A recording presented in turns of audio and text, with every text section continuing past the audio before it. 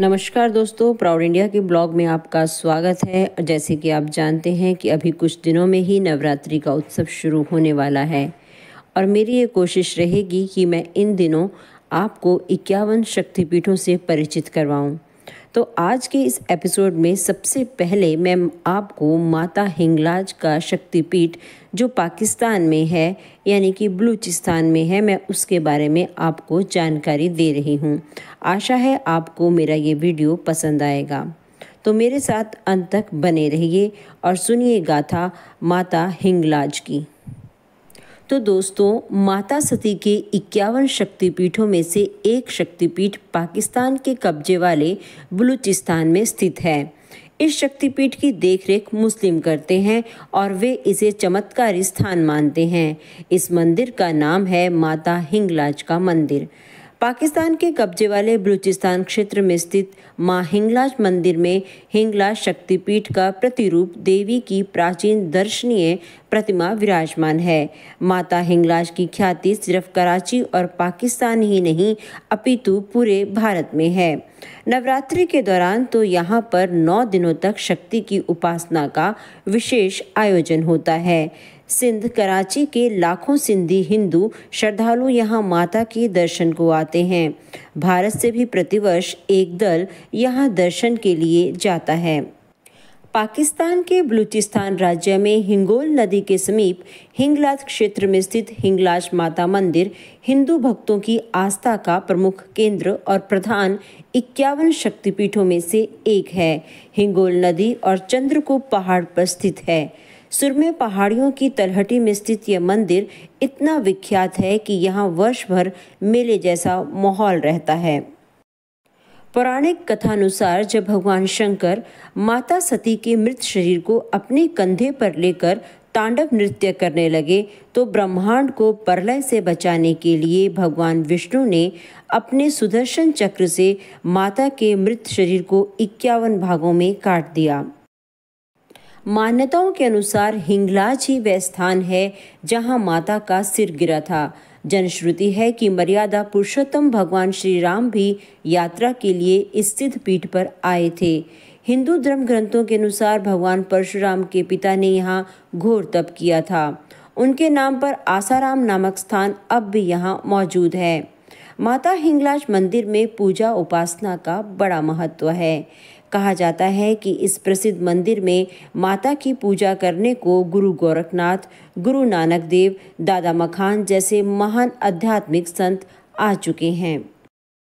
यहाँ का मंदिर गुफा मंदिर है। ऊँची पहाड़ी पर बनी एक गुफा में माता का विग्रह रूप विराजमान है। पहाड़ की गुफा में माता हिंगलाज देवी का मंदिर है, जिसका कोई दरवाज़ा नहीं है। मंदिर की परिक्रमा में गुफा भी है। यात्री गुफा के एक रास्ते से दाखिल होकर दूसरी ओर निकल जाते हैं। मंदिर के साथ ही गुरु गोरखनाथ का एक झरना है। मान्यता है कि माता हिंगलाज देवी यहाँ सुबह स्नान करने आती है। हिंगलाज मंदिर को नानी पीर का स्थान भी कहा जाता है। जब पाकिस्तान का जन्म नहीं हुआ था और भारत की पश्चिम सीमा अफ़गानिस्तान और ईरान थी, उस समय हिंगलाज तीर्थ हिंदुओं का प्रमुख तीर्थ तो था ही। बलूचिस्तान के मुसलमान भी हिंगला देवी की पूजा करते थे और उन्हें नानी कहकर मुसलमान भी लाल कपड़ा, अगरबत्ती, मोमबत्ती इत्र और सिरनी चढ़ाते थे। हिंगला शक्तिपीठ हिंदुओं और मुसलमानों का संयुक्त महातीर्थ था। हिंदुओं के लिए यह स्थान एक शक्तिपीठ है और मुसलमानों के लिए यह नानी पीर का स्थान है। कहते हैं, मुस्लिम काल में इस मंदिर पर मुस्लिम आक्रमणकारियों ने कई हमले किए, लेकिन स्थानीय हिंदू और मुसलमानों ने इस मंदिर को बचाया। कहते हैं कि जब यह हिस्सा भारत के हाथों से जाता रहा, तब कुछ आतंकवादियों ने इस मंदिर को क्षति पहुँचाने का प्रयास किया था, लेकिन वे सभी के सभी हवा में लटके हुए मिले थे। इस मंदिर से जुड़ी एक और मान्यता है, कहा जाता है कि हर रात इस स्थान पर सभी शक्तियाँ एकत्रित होकर रास रचाती हैं और दिन निकलते हिंगलाज माता के भीतर समा जाती हैं। इस मंदिर पर गहरी आस्था रखने वाले लोगों का कहना है कि हिंदू चाहे चारों धाम की यात्रा क्यों ना कर लें, काशी के पानी में स्नान क्यों ना कर लें, अयोध्या के मंदिर में पूजा पाठ क्यों ना कर लें, लेकिन अगर वह हिंगलाज देवी के दर्शन नहीं करता तो यह सब व्यर्थ हो जाता है। जो स्त्रियाँ इस स्थान का दर्शन कर लेती हैं, उन्हें हजियानी कहते हैं। उन्हें हर धार्मिक स्थान पर सम्मान के साथ देखा जाता है। माता के मंदिर के ठीक बाहर अंगारों का बाड़ा बनाया जाता है। यह मंदिर के बाहर 10 फीट लंबा बनाया जाता है और उसे धधकते हुए अंगारों से भरा जाता है, जिस पर मन्नतधारी चलकर मंदिर में पहुँचते हैं। और ये माता का चमत्कार ही है कि मन्नतधारी को जरा भी पीड़ा नहीं होती और ना ही शरीर में किसी प्रकार का नुकसान होता है। एक बार यहाँ माता ने प्रकट होकर वरदान दिया था कि जो भी भक्त इन अंगारों पर चलेगा, मैं उसकी मनोकामना पूरी करूँगी। हालाँकि आजकल ये बंद कर दिया गया है। एक पुरानी कथा के अनुसार यहाँ पर हिंगोल नाम का एक कबीला राज करता था। हंगोल बहादुर राजा था, लेकिन उसके दरबारी उसे पसंद नहीं करते थे। राजा के वज़ीर ने राजा को कई बुरे कर्मों की लत लगा दी थी, जिससे कबीले के लोग परेशान हो गए थे। तब उन्होंने देवी से राजा को सुधारने की प्रार्थना की और माता ने उनकी प्रार्थना सुन ली। इस तरह से कबीले की प्रतिष्ठा बरकरार रही। तभी से यहाँ देवी को हिंगलाश माता के नाम से जाना जाता है। इस सिद्धपीठ की यात्रा के लिए दो मार्ग हैं, एक पहाड़ी तथा दूसरा मरुस्थली। यात्री जत्था कराची से चलकर लसबेल पहुँचता है और फिर लियारी। माता हिंगलाज देवी की यात्रा कठिन है, क्योंकि रास्ता काफ़ी उबड़ खाबड़ है। इसके दूर दूर तक आबादी का कोई भी नामो निशान नज़र नहीं आता है। कराची से छः सात मील चलकर हाव नदी पड़ती है। यहीं से हिंगलाज की यात्रा शुरू होती है। यहीं शपथ ग्रहण की क्रिया संपन्न होती है। यहीं पर लौटने तक की अवधि तक के लिए संन्यास ग्रहण किया जाता है। यहीं पर छड़ी का पूजन होता है और यहीं पर रात में विश्राम करके प्रातःकाल हिंगलाज माता की जय बोलकर मरु तीर्थ की यात्रा प्रारंभ होती है। रास्ते में कई बरसाती नाले और कुएँ भी मिलते हैं। इसके आगे रेत की एक शुष्क बरसाती नदी है। इस इलाके की सबसे बड़ी नदी हिंगोल है, जिसके निकट चंद्रकूप पहाड़ है। चंद्रकूप तथा हिंगोल नदी के मध्य लगभग पंद्रह मील का फासला है। हिंगोल में यात्री अपने सिर के बाल कटवाकर पूजा करते हैं तथा यज्ञोपवीत पहनते हैं। इसके बाद गीत गाकर अपनी श्रद्धा को व्यक्त करते हैं। मंदिर की यात्रा के लिए यहाँ से पैदल चलना पड़ता है, क्योंकि इसके आगे कोई सड़क नहीं है। इसलिए ट्रक या जीप पर ही यात्रा की जा सकती है। हिंगोल नदी के किनारे से यात्री माता हिंगलाज देवी का गुणगान करते हुए चलते हैं। इसके आगे आशापुरा नामक एक स्थान आता है।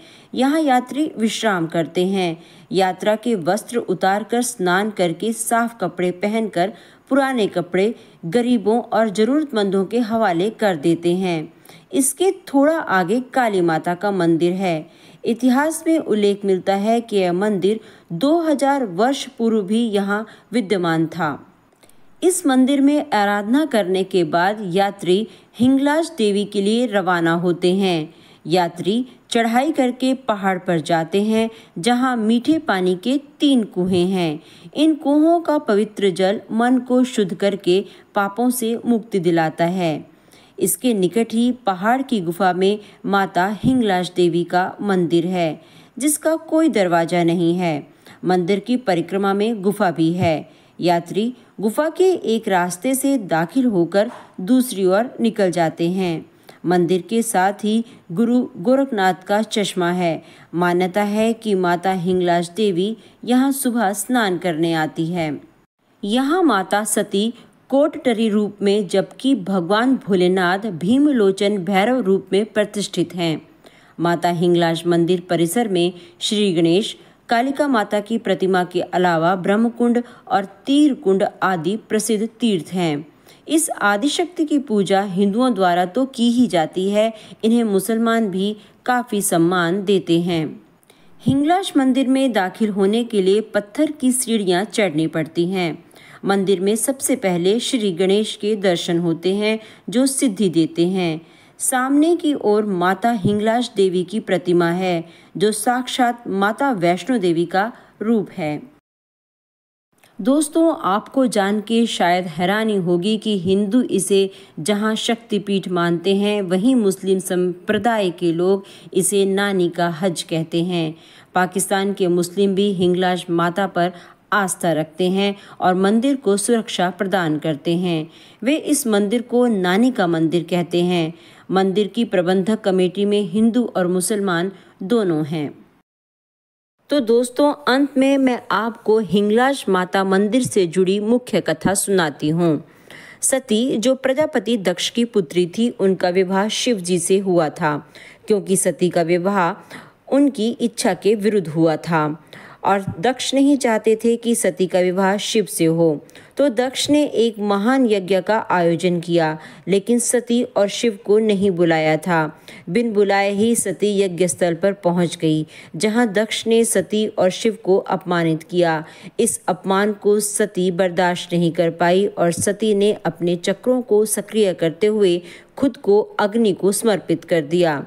सती अग्नि में खुद को समर्पित कर देती है और उनकी मौत हो जाती है, लेकिन उनकी लाश आग में नहीं जली। शिवजी ने सती की मृत्यु का जिम्मेदार दक्ष को माना और शिव ने दक्ष को मार दिया और उन्हें पुनर्जीवित जीवनदान देते हुए क्षमा कर दिया। शिव सती की लाश के साथ पूरे ब्रह्मांड में घूमते रहे। अंत में भगवान विष्णु ने सती के शरीर को 108 भागों में बांट दिया, जिसमें से बावन भाग पृथ्वी पर और शेष ब्रह्मांड के अन्य ग्रहों पर गिरे। पृथ्वी पर गिरे भाग अलग अलग शक्तिपीठ बन गए और प्रत्येक शक्तिपीठ में शिवजी की पूजा भैरव रूप में की जाती है, जो पीठासीन देवी के पुरुष संरक्षक होते हैं। और मान्यताओं के अनुसार कहा जाता है कि सती का सिर हिंगलाज में गिरा था। तो दोस्तों, इस वीडियो में मैंने आपको हिंगलाज माता मंदिर का इतिहास, हिंगलाज मंदिर कहाँ स्थित है और मंदिर का खुलने का समय क्या है और हिंगलाज मंदिर कैसे जाया जाए, हिंगलाज माता की पूजा कैसे की जाए, जैसे जुड़ी जानकारियाँ मैंने आपको दी हैं। आपको ये वीडियो कैसा लगा? अगर आपको ये वीडियो अच्छा लगा है तो अपने दोस्तों, रिश्तेदारों को भी हिंगलाज माता मंदिर से जुड़ी जानकारी शेयर करें। तो दोस्तों, अब आप मुझे दीजिए इजाज़त और अगले वीडियो में मैं आपको फिर से एक नए शक्तिपीठ की जानकारी दूँगी। तब तक के लीजिए, कीजिए मेरा इंतज़ार। धन्यवाद। जय माता दी।